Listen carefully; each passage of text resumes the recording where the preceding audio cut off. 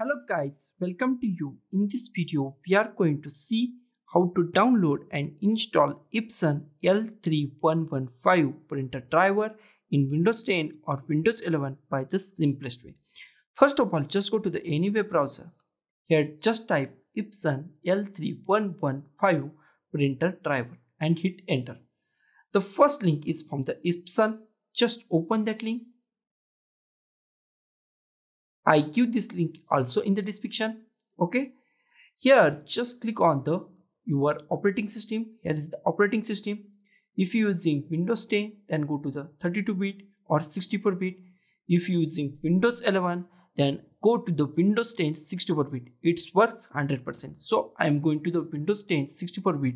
I am using Windows 11 operating system. Okay. And click on the go and just download the first printer driver download it accept it and also download scanner. Once again just go to the windows 10 64 bit. Here is the scanner and click on the download. I opening new tab accept it. Show in folder drag these two files to the desktop and minimize it. Here is the our first file contain our printer driver. Right click on it. Show more option. Extract files. Click on ok. Here is the our drivers folder.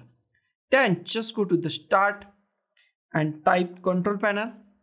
Click on the control panel in control panel, just find devices and printers. Just click on devices and printers. Here just click on add a printer at the top. Here just click the printer that I want recently listed. Click on that. Click on add a local printer or network printer with manual settings. Click on that. Click on next. Here is the most IMP part. Just click on the port and select any USB port USB 001, 002, 003, 004 any USB port. Select that. Click on next. Have a disk browse just go to the desktop just find our drivers folder double click on it double click on it double click on it.